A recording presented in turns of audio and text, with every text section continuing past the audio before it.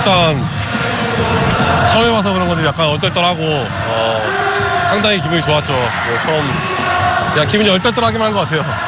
사실 좀 시리즈 내 부진했었어요. 마음고생 좀 했을 것 같은데 어떻습니까? 일단 제가 못하더라도 일단 제가 할 수 있는 것만 하자고 생각했고 어, 일단 팀이 이기는 게 우선이니까 제 뭐 성적과 상관없이 어, 그냥 그것만 생각한 것 같아요. 팀이 이기는 것만 생각한 것 같고 애들이 잘해줘서 어, 우승할 수 있었던 것 같아요.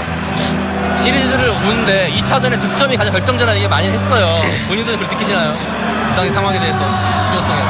일단 그 상황에서는 무조건 제가 태그아웃 되기 전까지 무조건 살아야겠다는 생각을만 했기 때문에 어, 그렇게 하다 보니까 일단 운 좋게 뭐 팀이 생겨서 득점이 돼서 뭐 좋은 좋은 이게 기운으로 어, 넘어오긴 넘어온 것 같아요.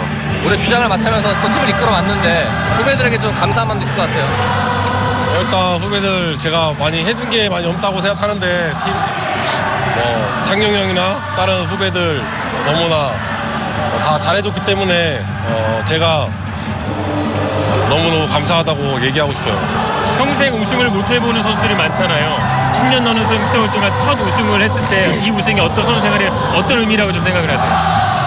일단 모든 프로 선수는 음, 우승을 하기 위해서 운동을 하는 거고 어, 그게 어,